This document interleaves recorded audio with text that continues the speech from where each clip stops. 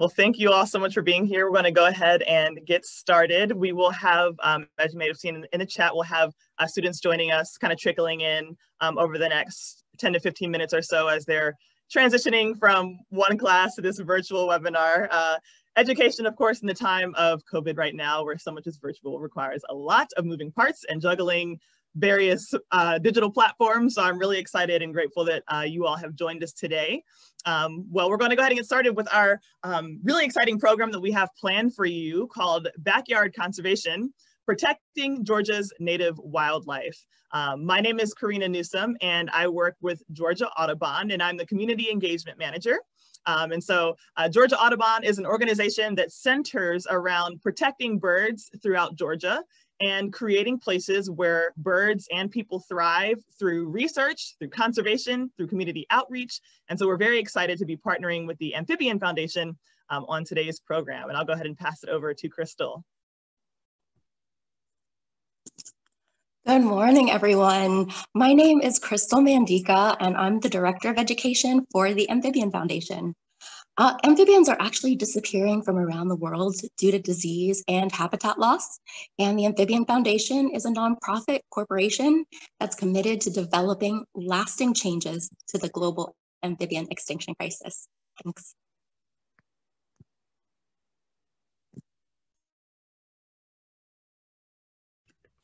Hey everyone, uh, I am Henry Adams. I am the Assistant Director of Education here at the Amphibian Foundation. Just joined the team this past September. Um, it is a real treat, honor, and privilege to be working with Crystal, Kiana, and Karina um, on this project and many other amazing projects as we try to bring amazing critters and um, education about them to the greater Atlanta area and beyond. So very excited to be here today.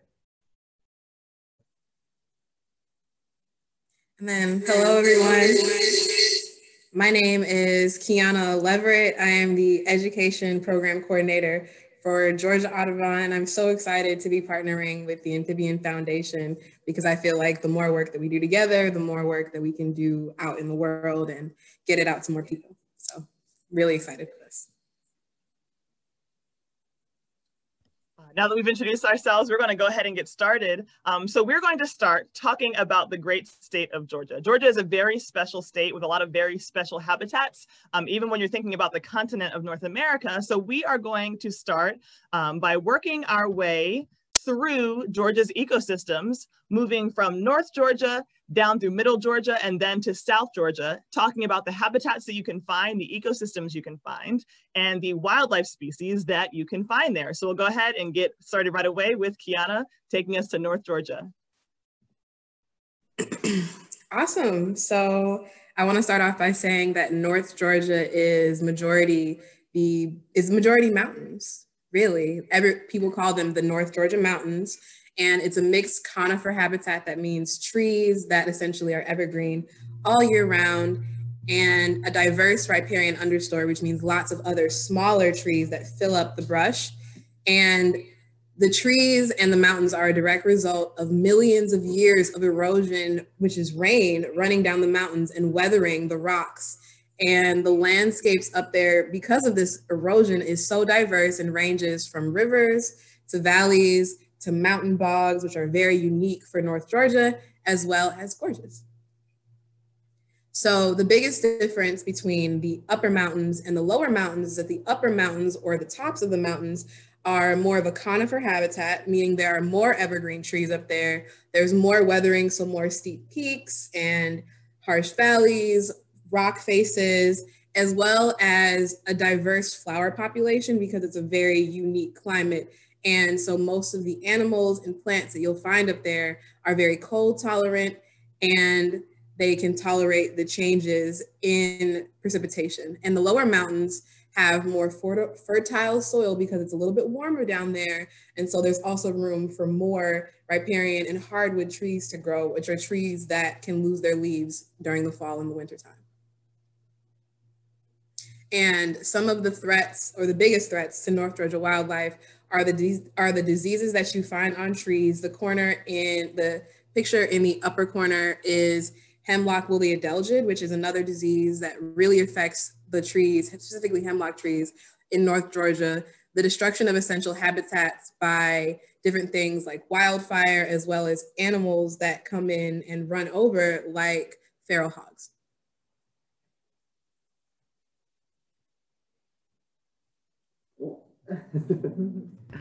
I'm getting my wearing too many things with a mask.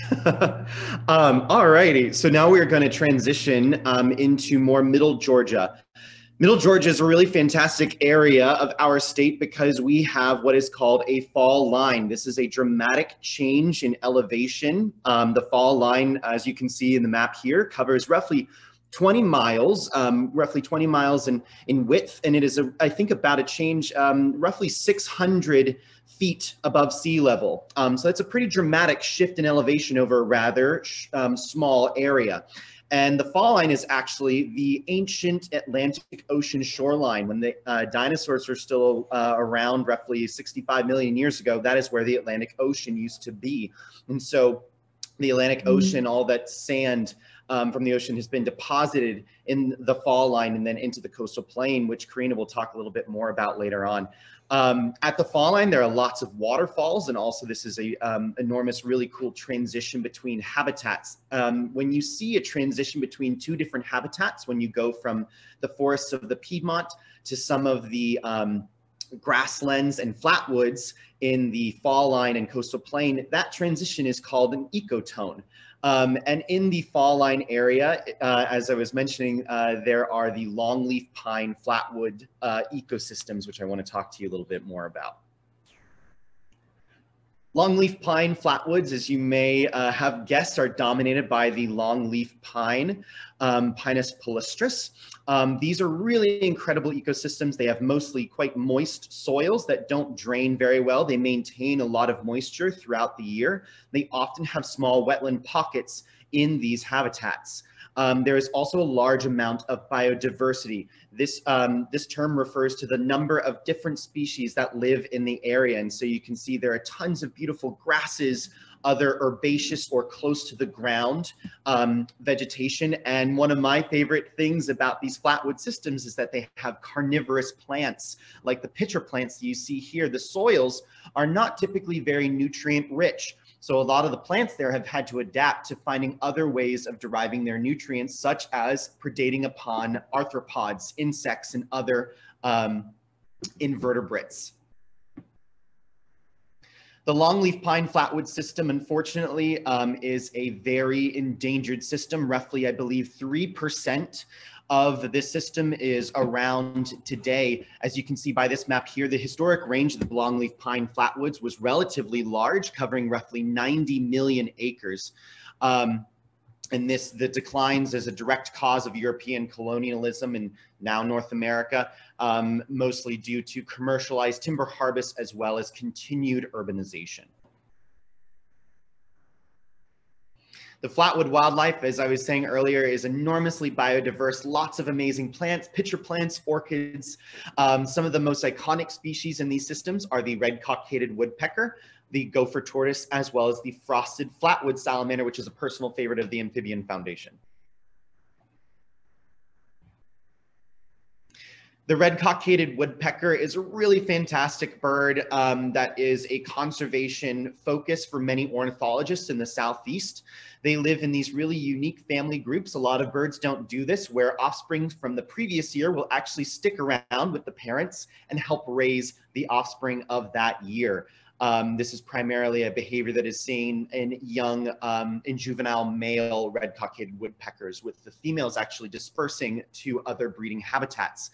They are what is known as an ecosystem engineer or a keystone species. An ecosystem engineer is an animal that basically creates habitat environments for other animals. And so what red cockaded woodpeckers do, they are primary cavity creators, meaning that they make cavity nests in um, living pine trees that other animals then, then can use. And so that contribution to their ecosystem makes them what is known as an, a keystone species, something, a species that basically just contributes so, so much to their environment as a whole. And if they are taken out of that environment, then the entire system is at risk of collapsing.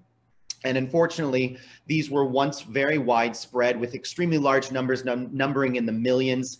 Um, they are now down into the thousands, but there's a lot of really excellent conservation efforts that have been done over the past several years to rebuild those populations, like creating artificial cavity nests and, of course, reestablishing the longleaf pine ecosystem as a whole. And then for an amphibian, uh, this is again the frosted flatwood salamander. This is an animal that we at the Amphibian Foundation work with quite a lot. Um, this is a species of mole salamander. The mole salamanders belong to the family Ambystomatidae. Um, they are very appropriately named because they love to burrow. Um, most of the time, unless it's during the breeding season, these guys can be found underground, um, oftentimes in old crawfish burrows. But then during the breeding season, which happens during um, the winter, so anywhere between middle December to late January, these and other mole salamanders will emerge from those burrows and move to seasonal or ephemeral wetlands. These are impermanent wetlands that will only fill up during certain times of the year.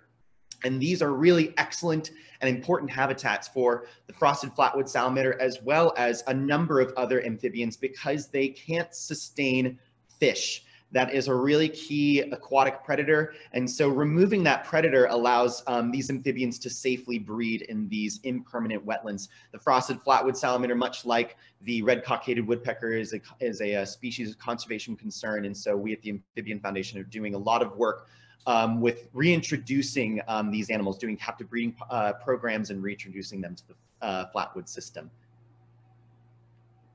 And so with that, I think that we are going to hand it over to Karina for the coastal plain. Yes, so the coastal plain is one of my favorite parts of Georgia because I've done a lot of research in this area. And the coastal plain is essentially um, the rest of Georgia from the fall line that Henry described all the way to the current Atl You can't hear me? Oop. Can you hear me now? Okay. you can hear me?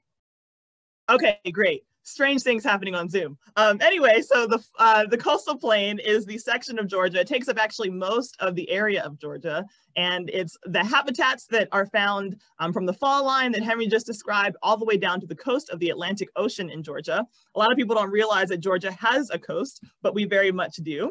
Um, and so uh, this coastal plain, which again takes up a huge swath of land in this state, was formed from sediment. So if you remember erosion, um, Kiana describing what erosion is, water carrying little ground up bits of rock.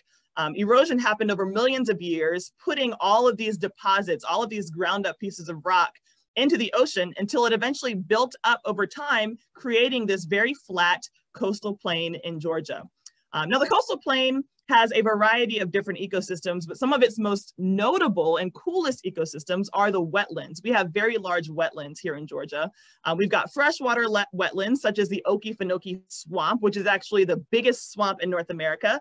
It's about 438,000 acres. And to kind of give you an idea of how big that is, a football field is about one and a half acres. So that's like 300,000 football fields. That's how large the Okefenokee Swamp is. Um, but in addition to freshwater uh, wetlands, we also have um, saltwater wetlands. And we also, uh, we have a very similar amount of saltwater wetlands as well. And these are typically in the form of salt marshes. And we have about 400,000 acres of salt marsh on the coast of Georgia. Um, and Georgia's coast is about 100 miles long. Now, um, the salt marsh is a very special place because our salt marshes are tidal, which means that the water level rises and falls twice a day, every single day, um, about 12 hours apart. And so this constant movement of water makes it a really dynamic ecosystem and animals have to have very special adaptations to survive there. Um, and just to let folks know, if you have a question, you can put your questions in the Q&A. Um, and once we get to the end of this portion of the talk, we will answer any questions you might have before moving on. Um, in Georgia, so back to that tidal wetland, um, we have some of the highest, biggest tides along the southeast coast of the United States. Um, the difference between low tide and high tide can be six to eight feet sometimes. And we've got a variety of birds and insects and mammals that live in these tidal environments, um, hundreds and hundreds of species. And so some of the most notable species, we'll start with uh, a reptile, is the diamond-backed terrapin. Now I wanna make sure you all can see this picture all the way um, on the right-hand side here. We've got on the right-hand side a baby diamondback terrapin that is hiding kind of in the mud in the marsh, and then an adult, more full-size terrapin. Um, this is actually a threatened species of aquatic turtle um, because their, their, their populations have been kind of going down because of human activities such as habitat loss. You know, the, um, the, the, marsh that they require to live in is becoming smaller and smaller. Um, and they need that marsh grass to provide cover for young turtles and to find food. So this picture that you're seeing on the right um, is a small diamondback terrapin that I found during my research in the salt marshes of Georgia, because that's kind of the ecosystem uh, that I study. But they love to look for uh, invertebrates, animals with no backbones, uh, such as snails and crabs, like the fiddler crab. Now thinking about birds, one very special bird species to me is the seaside sparrow, and that's the species that I've studied extensively. Um, and this bird builds their nests in the marsh grass and made of marsh grass, and they eat lots and lots of insects. Um, now they have a really interesting situation. Um, they have to build their nest at the perfect height off the ground. If they build it too low, they risk getting flooded when that high tide comes in. But if they build it too high, they risk being seen by predators. So they have to really fine tune where they place their nests. Um, so now we're going to move on to talking about some of the threats to birds in the state of Georgia. And Kiana is going to um, fill us in on some of that information. You are muted. I think you're muted still, Kiana. there we go. Okay. So there are a couple major threats to birds in Georgia. And one of the biggest ones I would say the biggest one is habitat loss and fragmentation. So habitat loss is of course when you're losing a habitat and habitat fragmentation is sort of like turning a larger habitat into smaller and smaller sectioned habitats to where there's not, there are larger gaps between habitats for animals that need that large habitat.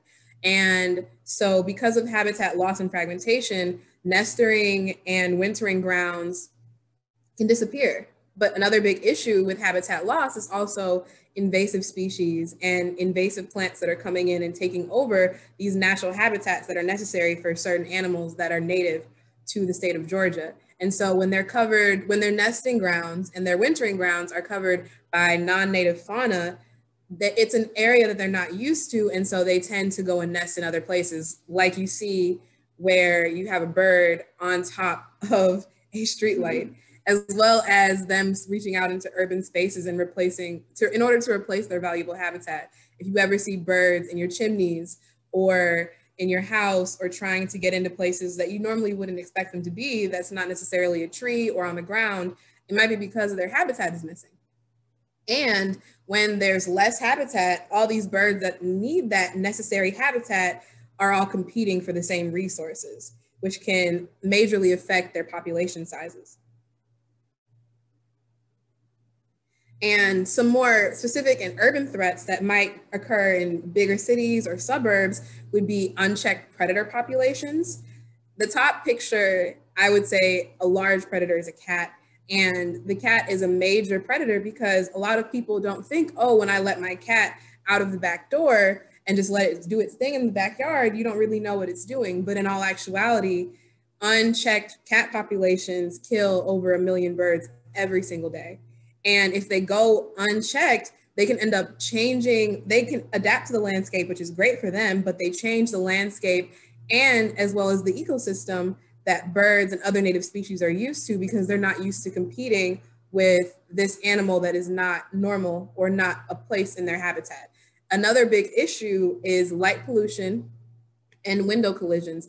In urban spaces, I'm sure we all have those days where it's nighttime and we just leave all the lights in our house on, or you're driving through the city and you see lit up skyscrapers and lit up buildings, not realizing that birds can't necessarily see the glass. So they can collide with the glass thinking that they're flying straight. And also light pollution can also affect how they navigate. So birds that are migrating won't necessarily be able to make it to the destinations. They'll be confused by all the light that's occurring at night And then some of the threats. Alrighty, and some of the threats to herpetofauna are, are pretty much re um, repeated from what Kiana was just telling us about the threats to avifauna. Um, habitat loss and fragmentation is a really big issue. We've been talking a lot about habitat loss as it relates to the um, longleaf pine flatwood systems. Um, habitat fragmentation, the breaking up of habitat um, by construction of roadways or other um, human establishments can be really disruptive to salamander movement. They move from uh, woodland habitats to their wetland breeding habitats and frequently have to cross roadways, which obviously doesn't um, bode well for them a lot of the time. Environmental pollutants like pesticides and sediment pollution can be really detrimental to amphibian populations. And then of course, as Crystal was mentioning earlier, infectious disease. Chytrid fungus is what is called an emergent infectious disease, meaning that it is a disease causing agent that is just cropping up onto the scene now. Um, it was introduced um, into much of the world from East Asia, its native range, and has decimated frog populations in particular, as well as salamander populations worldwide, endangering over 500 different species of amphibians. Now, given the variety of threats that both birds and reptiles and amphibians are facing, conservation organizations like Georgia Audubon and like the Amphibian Foundation are doing work existing solely for the purpose of making sure that these birds survive in a changing world. So Georgia Audubon is doing quite a bit of work to help protect birds in response to the challenges that Kiana was describing. We're trying to do things like making the city safer, especially in urban landscapes like the city of Atlanta because windows are such a big threat, they can't see them, they didn't build them, they don't know they're there. They're designed to not be seen, right? Um, we are doing things to make windows more visible to birds through projects like Safe Flight, where we put um, stickers and, and images on windows that allow birds to see, hey, there's actually a barrier here and avoid flying into it. And we're actually going to meet a survivor of a window collision today in just a few minutes. Um, and then addressing kind of what uh, um, Kiana was talking about regarding um, migration, birds, particularly songbirds, will migrate at night. During the rest of the year, they're awake during the daytime and they sleep at night, but during migration, they're migrating at nighttime, and those lights are very confusing. And so we gather as many people, individuals, businesses, big buildings, small houses, to get people to turn their lights off during migration to help birds who are moving through the city uh, to be able to do so without being confused by the light. So you all at home during migration, which is in spring, uh, mainly March through uh, May, and then in the fall, primarily September to October, try to turn your lights off at night as often as you can. And then we're also trying to address the lack of habitat that oftentimes happens in cities because people build things, right? Um, so we are trying to make habitat for birds in places where people might not expect. So we get people at home to help put up bird boxes and plant plants that birds really enjoy eating from and living on. Um, and that way we can create spaces that birds are able to survive in, even in the middle of a city.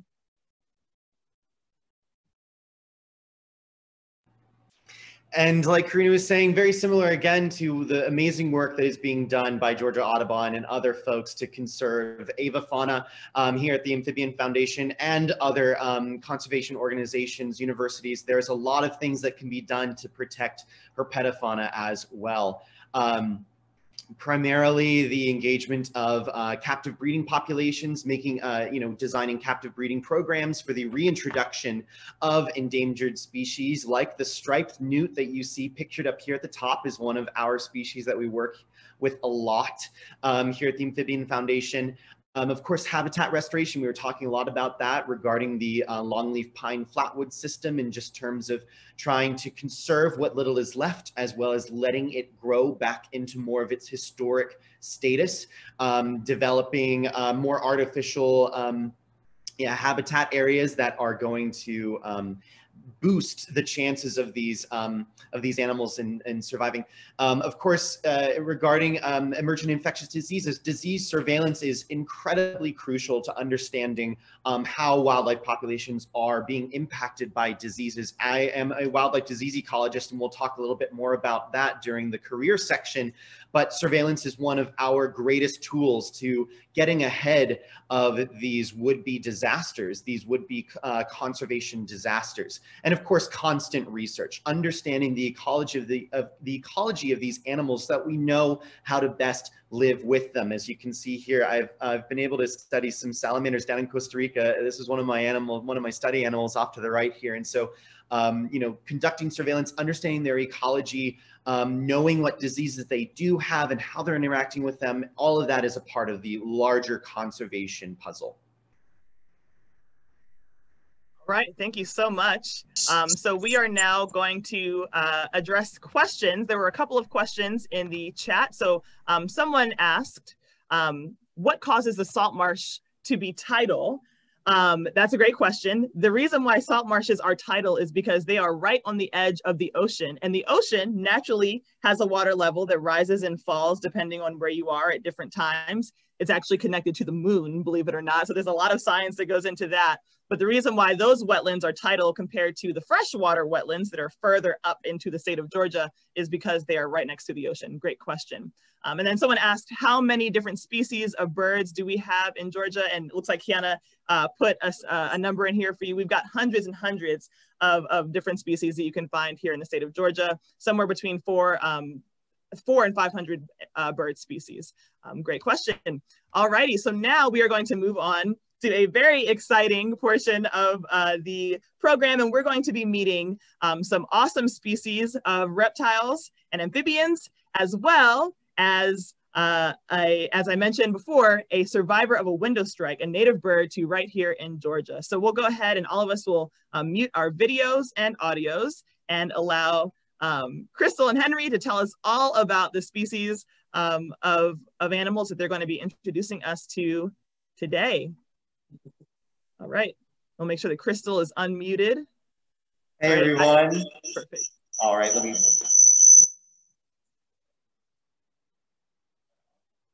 All right. Hey, everyone. Does any uh, thumbs up if y'all can hear me okay? Looking, we're looking good. Okay, super. Hey, everyone. I'm Henry. This is Crystal. Again, we are with the Amphibian Foundation, and this is Phil. Phil is a Savannah monitor um, one of our number of Savannah monitors that we hear that we have here at the foundation. Um, Phil is native to sub-Saharan Africa, so as that would imply, uh, this species is native to the region just below the Sahara. Um, native from all the way from the uh, the west coast to the east coast, from Senegal um, over to Sudan. Um, living in a really cool, dry, scrubby environment known as the Sahel. Um, or savanna, these Sahel, these uh, scrubby and um, and uh, dry grassland environments. The savanna monitor is a really cool um, species of monitor in that they have a pretty uh, specific diet. If I can get Kiana to zoom in a little bit on the head here, you can see that Phil's head is very blunt. It's very stout. It's very powerful. And this is a very well designed for crushing invertebrates. So the Savannah Monitor actually has a pretty narrow diet, um, limited specifically to snails, um, millipedes, and other gastropods, other invertebrates, other things that have really hard shells that Phil needs to crush um, and so the really powerful jaw structure that you can see here is really crucial for that. Um, Outside of that, Phil can grow to be relatively large. Savannah monitors, I believe, can grow to be upwards of about three feet long. So Phil is pretty young. And um, Crystal, how old is Phil?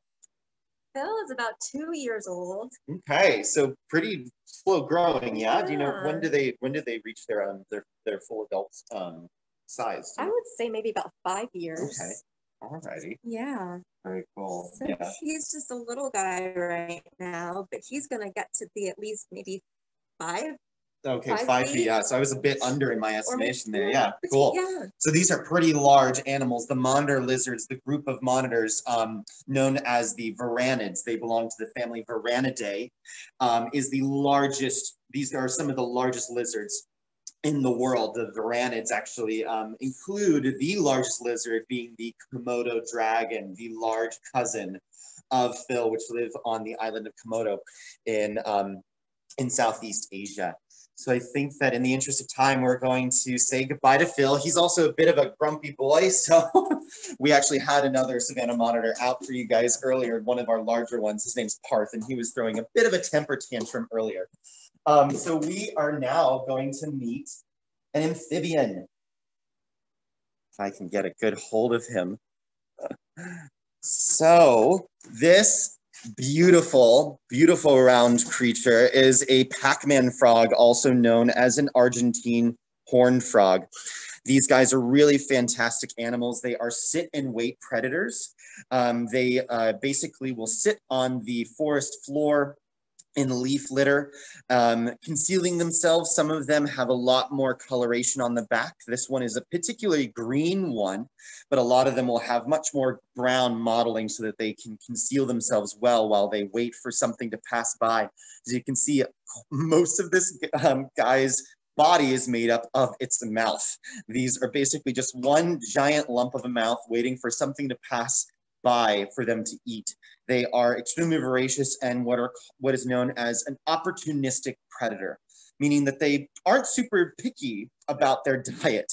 Um, they will eat anything from insects and other invertebrates to small mammals, lizards, and even other frogs. They can be cannibalistic.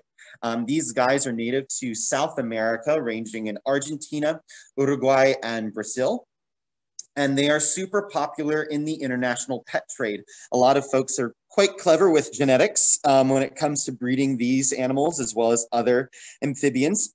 And so they've been able to breed them into a lot of different uh, colorations, um, which make them quite popular. And of course, I mean, who doesn't love that face? A couple other really cool things. Oftentimes you will see this kind of horn structure that you see above the eyes. This is a really cool feature because oftentimes predators of amphibians are looking for certain things. Eyes are a really good way of detecting prey. And so these horns are a way for a predator that's swooping in from above, like a bird or something else that is attacking from an aerial perspective. This is a really great way to divert the attention away from the frog's eyes. And so this basically contributes to its overall camouflage. Um, you might be wondering why I am using gloves to handle this Pac-Man frog. Um, this Pac-Man frog is, as we said earlier, an amphibian, um, which is basically, a, the amphibians are a really amazing group of animals um, that are typically characterized by their very moist and absorbent skin. Uh, they really are quite dependent on their skin for absorbing water, oxygen, and it's very sensitive to chemicals that can be on your hands, such as the oils that your body naturally produces. If you happen to have some pesticide on that because you just sprayed for mosquitoes and you went out into the, um, you know, went on a hike, um, it's really important that if you're going to uh, handle an amphibian that you wash your hands or use gloves. It's best to just use gloves, especially if you are like me, a wildlife disease ecologist using gloves between each animal prevents this transmission of diseases from one individual to another. So on that note, I am going to change my gloves before we meet the next animal. Oh, that's okay. well, you can keep yours on if you just want to, yeah. So Crystal actually, Crystal is already gloved up, which is perfect. Pass those that way. Um, Crystal is already gloved up and we are going to meet, oh, one of my absolute favorite animals I think I have ever had the joy of meeting. This is Louie. Louie is a tiger salamander, a close relative of the frosted flatwood salamanders that we were discussing earlier. So Louie is another example of a mole salamander. The scientific name for this is Ambystoma tigrinum, very appropriate, basically the tiger mole salamander, which is exactly what Louie is. This is one of the largest salamanders that we have in um, the eastern United States. They can grow to be um, roughly 8 uh, to 13 inches long. Um, very, very robust uh, creatures. As you can see, Louie is uh, quite, quite a beautiful, chunky creature um, with those beautiful bug eyes. I mean, it's just truly a, like, how can you, how can you not love that face? Um, tiger salamanders, as I was talking a little bit about earlier with just mole salamanders in general, have a really fantastic life history. Not only do they undergo the amazing process of metamorphosis, like a lot of amphibians do, but they also have a relatively migratory life uh, cycle throughout the year, which is something that you might not really associate with amphibians. But as we were talking about regarding the movement of amphibians uh, during the breeding season, um, these guys really love hardwood um, forest systems. So that is, as we were discussing a little bit earlier, I think Kiana was getting into those terms when we were talking about the North Georgia forest. Um, those are systems that are dominated by um, deciduous trees, trees that will lose their leaves during the fall and the winter. And so this is the primary habitat for these guys during the non-breeding season. And then during the breeding season, again, in about middle December into late January, they will leave those woodland habitats, um, often not going too, too far um, to find their wetland breeding sites. And at those sites, the males will deposit what are called spermatophores. They are packets of sperm that then the females will uptake using their cloaca and that will fertilize their eggs, which then they lay in these really fun gelatinous egg masses, which then will take a certain amount of time to develop um, and hatch into the larval phase of these animals. Tiger salamanders are super duper cool in that, especially with tiger salamanders in the western portion of the United States, they can be super sensitive to changes in their weather. So in certain years, you might have a particularly dry year, not a whole lot of rainfall.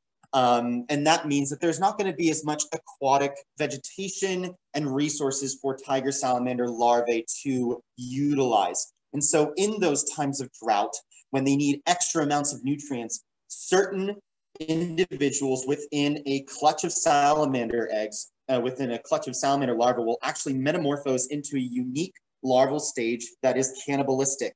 They will develop extra large jaws and they will actually predate upon their siblings and that will gain them the nutrients that they need to fully uh, metamorphose into adults, even though there is the, uh, the drought going on. And so I think with that, we're gonna meet our last animal here.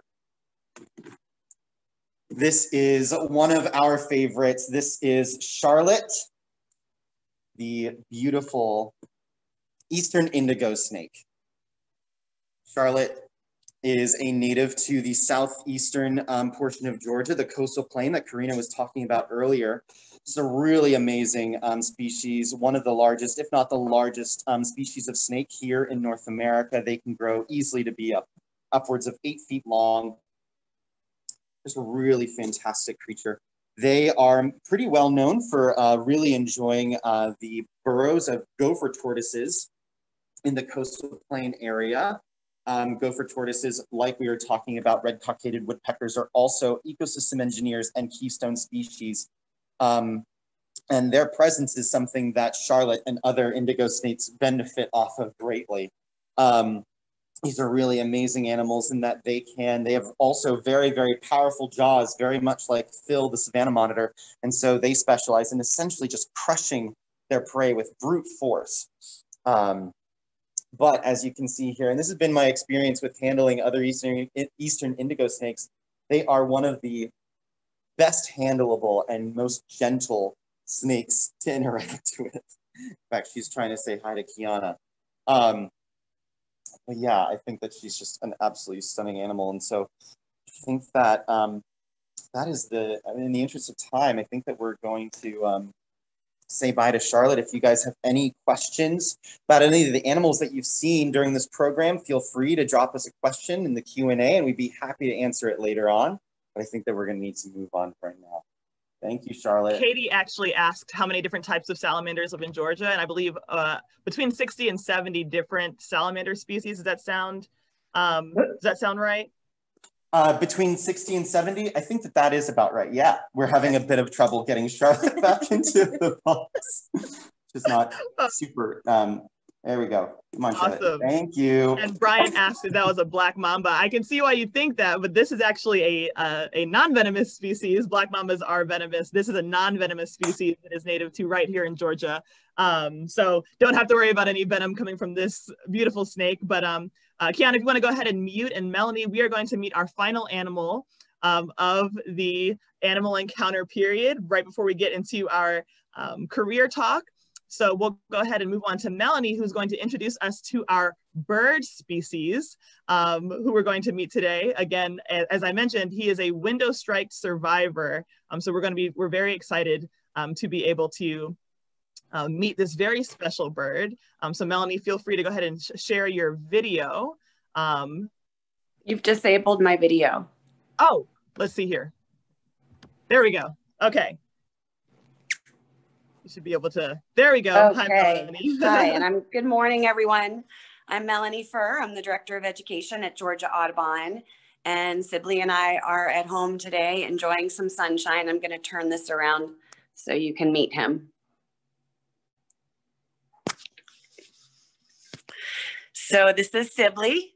He is Georgia Audubon's education ambassador, goes out to schools and community programs and hospitals to teach people about birds and ways that we can conserve them. Uh, as others, Kiana and Karina were mentioning earlier, Sibley is the victim of a window collision. He, he broke a wing and he does not fly anymore. He can shuffle along his perch and, and flutter himself forward to move around, but he doesn't fly anymore. Unfortunately, up to 2 billion birds are killed every year in window collisions in North America. And Sibley is, you know, one of those victims. Uh, he, he didn't die, fortunately. He now can teach others about the dangers of windows. But with his broken wing, he doesn't fly anymore. Uh, he can feed himself. I'll show, turn this a little bit so you can see. Oh, he's going to change positions. He's got a variety of different perches um, so that his feet don't cramp because he spends a lot more time on his feet than normal hummingbirds do. Um, but you can see his little nectar feeder there. He gets a special nectar uh, to try to closely replicate what he would get in the wild. Hummingbirds, as you probably know, drink nectar from flowers, but they are also aerial insectivores, meaning that they, they catch small insects while they're flying around. So Sibley here has a special nectar to make sure that he's getting protein and vitamins um, to keep him healthy. In Georgia, we only see hummingbirds in the wild in the spring through the fall. So they are mostly gone from Georgia now. They generally are uh, migrating in August and September. They're passing through in, in big numbers in those months, heading down to their tropical homes uh, in Mexico and Central America, where they can find the flowers and the insects that they need to sustain them through the winter. And then they'll be coming back to Georgia uh, to nest throughout the state, arriving in late March. So you can um, be on the lookout for them again next spring. Put up a nectar feeder is a great way to help these birds plant native flowering plants and trees is another way to help hummingbirds. Um, but we feel very fortunate to have Sibley to inspire and educate people. He, uh, as far as we know, is the world's only hummingbird ambassador. So I'd be happy to answer some questions before Sibley and I sign off. Um, if anyone has questions about Sibley, you can feel free to put them in the Q&A. And even if you have questions that come to you after Sibley uh, leaves us uh, for the program, you can feel free to sub submit them then and we can answer them before the end.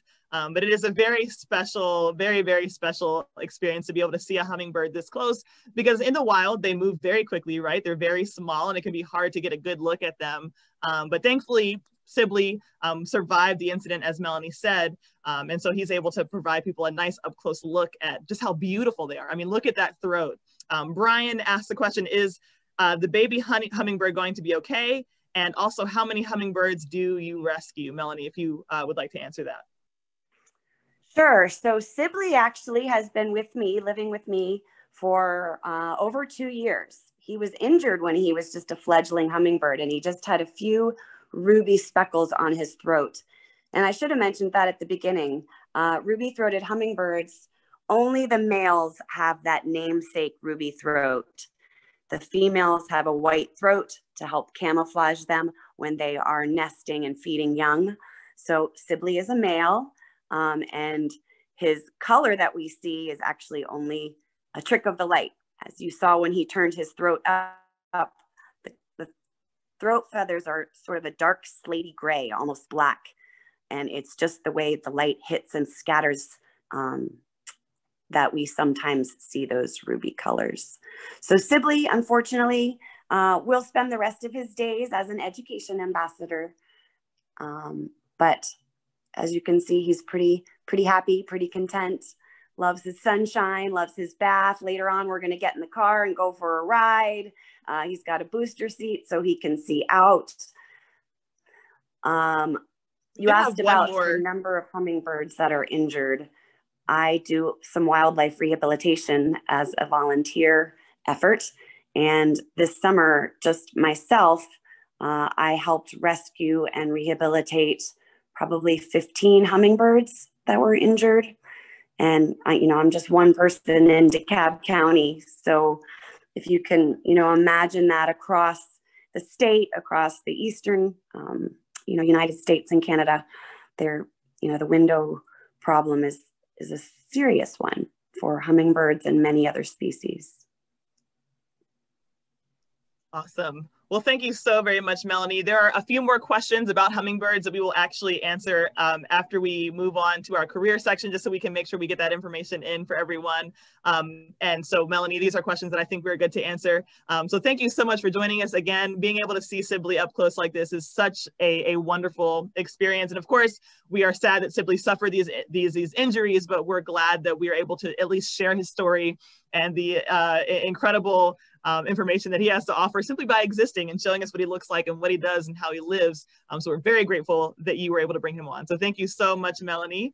Um, and so for the final about 10 or so minutes, um, we are going to about, you know, well, about five to 10 minutes, we're going to talk a little bit about um, careers in wildlife sciences. Um, because many of us, all of us here, have had different career paths to get to where we are. We do different things um, in the field of wildlife conservation.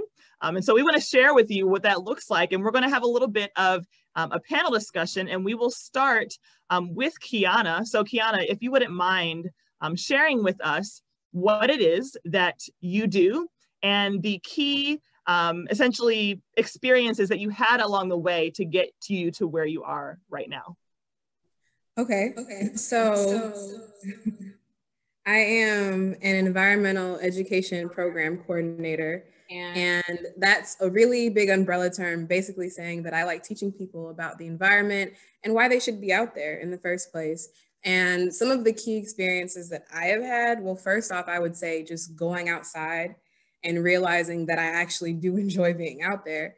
But also, I would say just having different experiences. I've had the pleasure of being able to do field research. I've had the pleasure of being able to go through internships and travel to different places to see different kinds of environments to sort of understand how all of it works together for us to be able to, one, take care of it, but also be in it. And I think what keeps pushing me is my passion for getting other people into the outdoors, especially if you don't have a background, if you don't call yourself an outdoorsy person. I want you to go outdoors. And so that is what inspires me to keep pushing and trying things that I've never tried before.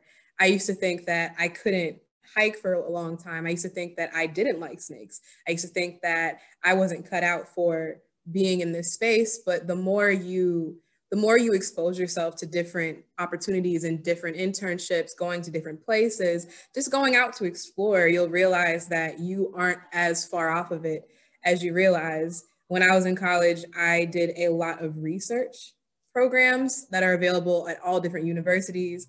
There are nonprofits that put on research programs and scholarship opportunities for people to be able to work alongside professionals and understand what they do. And so I used that and did a lot of different ones to sort of see where I fit into all of it. Amazing. Thank you so much, Kiana, for sharing. Um, I'm going to move over to uh, Crystal. Crystal, I think your uh, video is muted, but um, if you wouldn't mind jumping in, explaining um, what it is that you do at the Amphibian Foundation, and then some of the key experiences that you had to get you to where you are today in your career. Hi, everybody. Can you guys hear me okay? Awesome. Well, I am the Director of Education for the Amphibian Foundation, and that means that I create classes for students ages 3 to 18 about amphibians and reptiles. Uh, with my education team, I work to help kids understand how amazing amphibians and reptiles are and uh, why they are important to our environment and our planet. Uh, we've created classes like Critter Camp, Snakes of the World, Baby Turtles, Magical Amphibians and Reptiles, and our Pokemon and their real life reptile and amphibian inspirations. So we've got lots of classes to choose from. Um, and I'm actually the happiest when I'm able to put a frog or a snake in the hands of a child for the first time. Uh, seeing the joy on their faces, um, it makes it all worth it for me. Um, when a child realizes how amazing one of these animals is, I know that they will actually teach those around them about the importance of conserving these species. And that's why I do what I do. Um, I guess 13 years ago, I, you know, I realized that I loved amphibians and reptiles, and that completely changed the course of my life. Um, I started off um, trying to be a lawyer, but it turns out that my love of law isn't what made me happiest, and it's actually uh, working with kids and animals that truly makes me happy. Thanks. That's amazing. Thank you so much, Crystal. Um, and I'll go ahead and jump in and kind of describe what I do and how I got here. So I, um, as I said, am the community engagement manager, but my training and background is in biology, and I'm also a field biologist. I'm actually in graduate school right now studying the seaside sparrow, which is the bird that I described a little earlier on when I was talking about the coastal plain and salt marshes. And I actually got my, my experience to get into this career um, when I entered high school, my senior year of high school. I always loved animals, but I didn't really know what to do with it. I didn't know what kinds of careers existed. And then I ended up looking for internships at the Philadelphia Zoo, my local zoo. I was able to intern in animal care and education and getting that hands-on experience through internships at my local zoo is what introduced me to the wide variety of careers in wildlife conservation. Um, so I went to school for zoo and wildlife biology, got a, uh, had a lot of opportunities to volunteer in animal care, both at my school and at my local zoo, um, which is always really important to be able to get as much hands-on exposure and experience as you can. Um, so then when I graduated, I actually worked as a zookeeper for about four years. And so I worked with a variety of mammals, reptiles, amphibians, and birds. Birds, of course, are my favorite uh, uh, kind of group of animals. Um, and so I was able to kind of get a lot of experience in the animal care side of wildlife conservation. And then I recently transitioned into the research side of conservation, which is what I'm doing in graduate school, which means I got my bachelor's degree already, and now I'm working on my master's degree. Um, and so essentially, I have a mentor um, who helps me do research, and I go out in that salt marsh that I was showing you pictures of early on, looking for seaside sparrow nests, studying their behavior, studying the predators that look for them. Um, and my life right now is consumed uh, by that research and of course the community engagement element of sharing my love of birds with the people around me. Um, so we'll go ahead and move over to Henry. Henry, if you wouldn't describe uh, what it is that you do or and have done um, in the field of wildlife conservation and the key experiences that kind of set you on track. Yeah, of course. You hear me okay?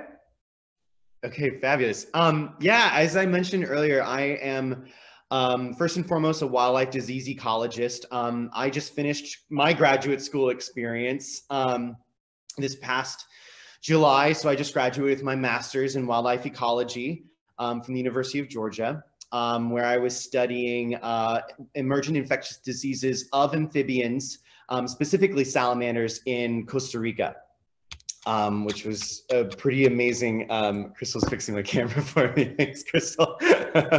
um, so I, um, I have always, I, very similar to Karina, very similar to all of us. You know, I, have entertained this enormous love for for wildlife. Literally my whole life. You know, there are pictures of me when I was two years old um, with my dad holding my hand so I wouldn't fall in the in the creek um, behind our house. You know, just me like, you know, looking under rocks and stuff, like getting all muddy and um, so like been, you know, been at it since day one and, um, and uh, just exploring the different animals that are out there and trying to learn as much as I can about them has always been, you know, at the forefront of what drives me in life. And um, I also come from a very artistic family. Um, I'm a musician. My mom and dad are both musicians and artists. My dad is a graphic designer and illustrator.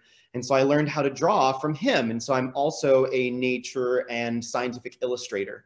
Um, and so art has been a really fantastic way for me to not only connect better to the animals that I care so much about, you know, being able to um, it's it, for me it's one thing to be able to look at an animal and you know commune with it and that's um, incredible. And then it, it, for me taking it to the next level of of um, getting to take its photograph and illustrate it um, and then using that illustration as a means of communicating scientific and conservation um, ideas and goals and issues to the general public as a means you know for outreach and education that is really the full circle for me um, and so I uh, was able to actually a couple, I have a couple of really formative experience. Actually, Crystal and Mark um, here at the foundation have been um, enormous players in um, my trajectory. So in 2013, I came to Crystal and Mark wanting to be an intern um, with the Amphibian Foundation. And so I came on as a husbandry and illustration intern.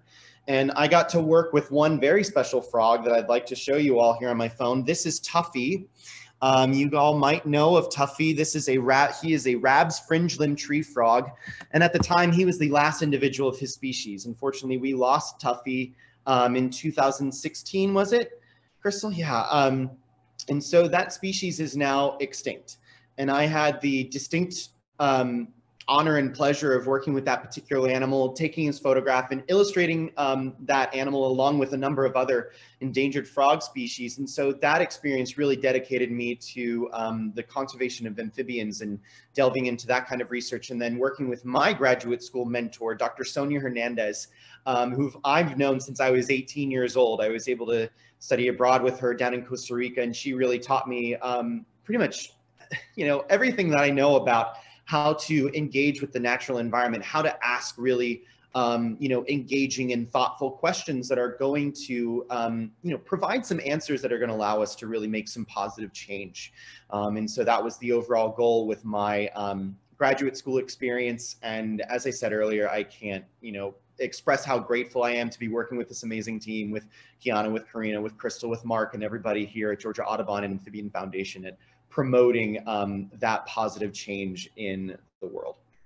Awesome. Thank you so much, Henry, for that information and for the, that background on your story. Um, and one of the most important things that we can offer to students is understanding what advice would we, people who work in wildlife conservation in a variety of capacities, give to young people who are interested in working with wildlife? What advice do we have for them? And so I'll go ahead and start. Um, because I didn't really know about the careers that existed for people who like animals, all I knew about was veterinary medicine, right? I wanted to be a veterinarian because that's what people who like animals do. Um, but as soon as I learned about internships at the zoo, I was introduced to a whole new suite of careers. So if you are particularly high school students, um, high school and middle school students actually, um, there are oftentimes lots of programs at your local zoo. Um, so if you're interested in learning more about conservation careers, I would look up the zoo that's closest to you and the youth programs that they offer because it'll get you a nice look behind the scenes into the work of wildlife conservation and not everyone that works at a zoo is a zookeeper. There are lots of different things you can do uh, to contribute to conservation. So look up your local zoo and see what programs are offered um, through internships and volunteer program experiences. I would also encourage you to look up the local green spaces and parks that you have near your home. A lot of times there will be educational programs that take place at those parks to introduce you to the native wildlife where you live um, and show you again show you the different careers that might exist for people who like wildlife. And of course i always encourage people go outside and look closely at the world around you and the wildlife around you because you'll find especially if you live in an urban environment that there is way more life than you realize um, outside. Um, and so i will go ahead um, uh, and turn it over to Henry to see if he has uh, any advice that he would give as we wrap up right now um, to young people who are interested in wildlife careers. And uh, Melanie put into the chat that Zoo Atlanta does have a program for teens. So if you are in the Anna, uh, in the Zoo in the Atlanta area, excuse me, um, that is a great opportunity for you to get some experience.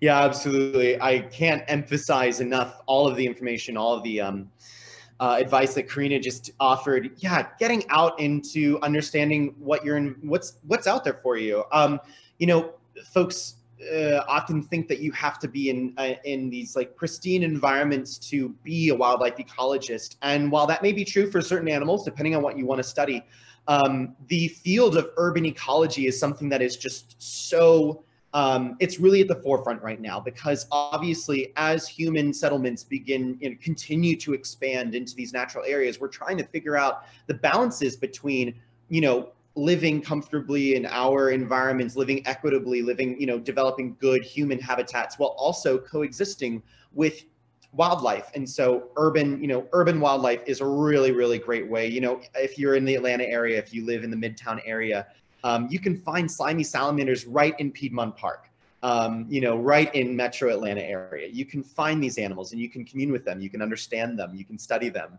you can just enjoy them. You don't have to be a scientist. You don't have to study them to have a great love for them. And yes, as, as Melanie was saying, um, uh, it's uh, the volunteer program is amazing, and my buddy Ty went through it. So I think that with that, I think that we need to begin to wrap up. But uh, yes. yeah. Um, thank you all so very much for joining us. We, of course, have so many incredible things to share. We are running short on time. Um, so if there are questions that you had that we were not able to answer yet, the teachers, I would encourage you to email me and I will share those answers with you. But thank you all so much for coming and we look forward to interfacing and interacting with you again uh, in the future. I hope you all have a wonderful day. Share any questions you have with us about careers or wildlife via email and we will get right back to you. Thank you, everyone.